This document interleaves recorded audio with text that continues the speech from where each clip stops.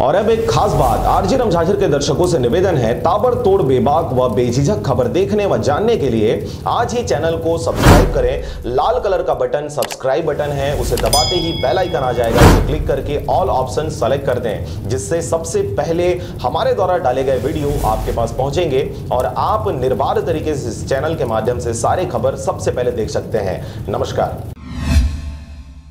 खबर है मुंगेली ज़िले का। जहाँ पर ईएमटी के सूझबूझ से 108 में गुंजी किलकारी क्रिटिकल केस होने पर गर्भवती महिला को सिम्स किया गया था रिफर 108 संजीवनी एक्सप्रेस अपने नाम के अनुरूप ज़िले वासियों के लिए हर आपातकालीन परिस्थिति में लोगों की जान बचाने में संजीवनी साबित हो रही है।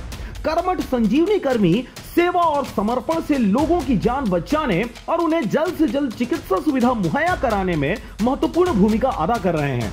ऐसा ही एक मामला शनिवार को देखने को मिला, जहाँ 108 की टीम ने गर्भवती महिला का एंबुलेंस में ही सुरक्षित प्रसव कराया। मिली जानकारी के अनुसार ग्राम हरदी निवासी गर्भवती महिला मंजीता राजपूत उम्र 27 वर्ष को प्रसव पीड़ा होने पर परिजनों ने जिला अस्पताल मुगेली में एडमिट कराया था। किंतु केस क्रिटिकल होने पर डॉक्टरों ने उन्हें हायर सेंटर यानी सिम्स रिफर कर दिया था। इसकी सूचना 108 को दी गई। सूचना मिलते ही पायलट हितेश पांडे और ईएमटी मोहन साहू बिना देर किए मंजीता राजपूत को एंबुलेंस में शिफ्ट कर बिलासपुर के लिए रवाना हुए। एंबुलेंस 25 किलोमीटर तक की दूरी तय ही कर पाई थी कि गर्भवती महिला को तेज प्रसव पीड़ा होने लगी और बच्ची का सिर बाहर आने लगा। वही महिला को बार बार झटका आ रहा था। इस दौरान दोहरी चुनौती का सामना 108 की टीम को करनी पड़ी। ईएमटी मोहन साहू ने अपनी सूझबूझ का परिचय देते हुए सर्वप्रथम ईआरसीपी के माध्यम से डॉक्टर सचिन को वस्तु स्थिति से अवगत कराया और परिजनों की सम्मति उपरांत एंबुलेंस को सड़क किनारे सुरक्षित खड़ी कर प्रसव प्रक्रिया